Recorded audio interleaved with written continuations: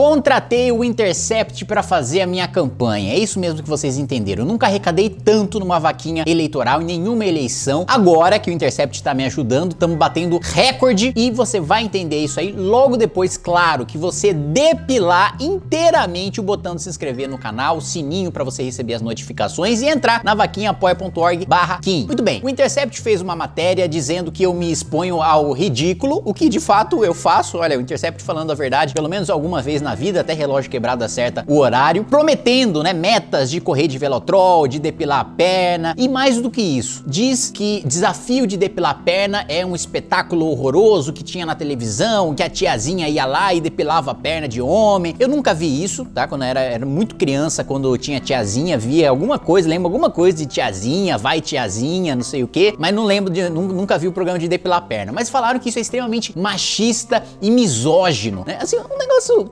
bizarro, né? Eu coloquei uma meta de arrecadação e aí um desafio, né? Leve, engraçado, né? Só para as pessoas olharem e rirem de mim.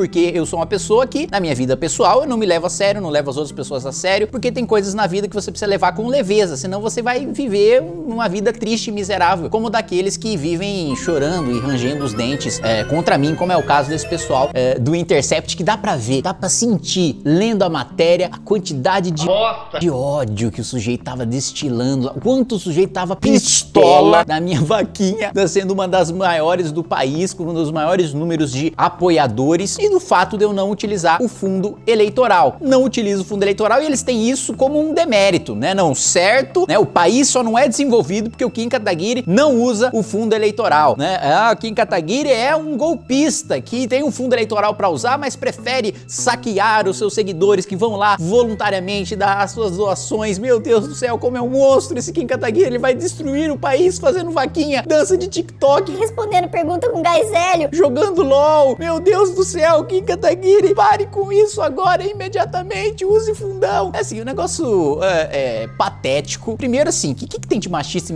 misógino, né? Um homem lá e depilar a perna. Tem um monte de homem que depila tudo, depila a perna, depila sovaco e tal. Eu nunca me depilei porque eu não quero me depilar e tá tudo bem, é sobre isso. É, cada um é feliz da maneira como acha, né? E eu, eu não acredito que é, seria feliz se eu tivesse que me depilar sempre. Mas tem pessoas que são felizes assim, que preferem não ter pelos e tudo bem, né? Beleza, tal. E, aí, que, que, que, que, mulher tá sendo oprimida pelo fato de eu depilar as minhas pernas, uma vaquinha de campanha, né? Que, que mulher tá sendo ofendida por causa disso? Assim, é um negócio tão patético. Essa gente vive numa bolha, não conhece nada de Brasil real, não conhece nada assim. Se você for na, na favela, perguntar, oh, você acha que é machista e misógino, né? Um homem depilar a perna para não utilizar o seu dinheiro tirado à força de você para fazer campanha eleitoral, com certeza ele fala, não, é muito machista, muito misógino, eu prefiro que levem o meu dinheiro embora e o sujeito fala lá pagar um monte de santinho de cabo eleitoral e por aí vai. Assim, gente, ridículo. Desde que, desde que o Intercept divulgou, né, a minha vaquinha, já arrecadei aí 4 mil reais. Enquanto eu falo, a arrecadação vai subindo. Eu fico muito triste com a notícia dessas. Eu fico muito triste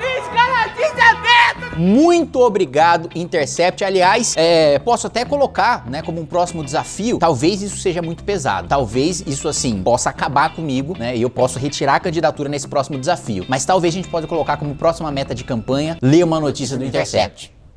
É um negócio pesado, fazer uma live, né? Vai ter que ser uma live num site obscuro da Deep Web, né? Porque é uma coisa muito dura, muito pesada, muito obscena, mas eu tô disposto a fazer esse sacrifício para não utilizar o fundo eleitoral. Muito obrigado, Intercept. Eu amo vocês de coração. Um beijo.